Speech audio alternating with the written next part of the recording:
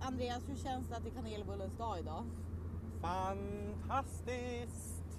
Hur gamla Det vi är som en högtidsdag för mig. Det borde vara, nu är det ju söndag så det är ju en röd dag men det borde alltid vara en röd dag. känner jag. Eh, hur gamla vi är? Jag är 26, Andreas är 35. Jag är inte 35, jag är 28. Mm, Emelie är 35, hon har bara tagit botox.